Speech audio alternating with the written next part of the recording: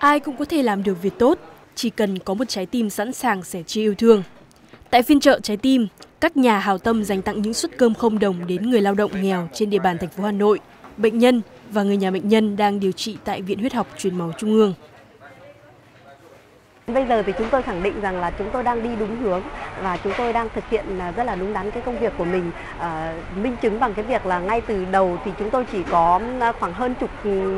thành viên thôi. Nhưng hiện tại thì cái số lượng cộng tác viên của chúng tôi đã lên đến 200 người. Thì tôi thấy cái thành công lớn nhất à, ngoài cái việc là chúng tôi đem lại được những cái bữa ăn ngon đảm bảo dinh dưỡng cho bệnh nhân và người nhà thì đó là nhận được cái sự tin tưởng đồng hành của rất là nhiều cộng tác viên thì em cảm thấy chương trình này rất là có ý nghĩa. Với lại cả buổi sáng anh chị đấy cũng kiểu từ thiện ở ở cổng ờ, ở dưới cổng ba rồi kia em cũng hay mua tôi các thứ. À, cơm thì à, xôi với cơm thì cũng rất là ngon. Rất là cảm ơn chương trình.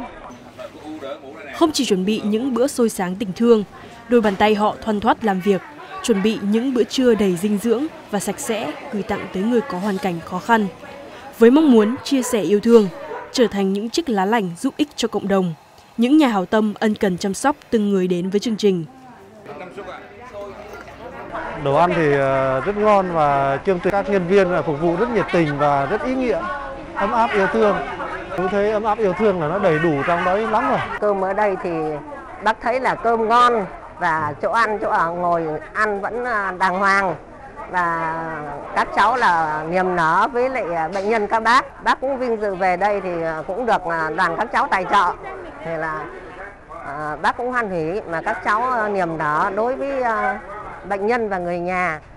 thì bác cũng nhiều lần bác được ừ, à, ăn cơm ở đây cũng à, à, phiên chợ trái tim này bác cũng rất cảm ơn tất cả thiện nguyện của các cháu Nụ cười của người nhà bệnh nhân đến nhận quà chính là động lực giúp phiên chợ trái tim tiếp tục hành trình ý nghĩa của mình lâu dài hơn.